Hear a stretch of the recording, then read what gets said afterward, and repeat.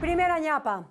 Los nuevos ministros de Salud, Trabajo y Agricultura y el nuevo fiscal general de la Nación debutarán la próxima semana en una gran cumbre convocada por los 32 gobernadores que llevan mes y medio en el cargo. El encuentro que organiza la Federación Nacional de Departamentos está previsto para el viernes 21 de febrero en Cartagena.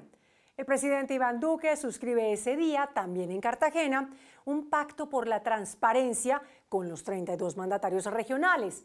En la agenda figuran temas como lucha contra la corrupción, seguridad ciudadana, salud, educación, agricultura y planes de vivienda.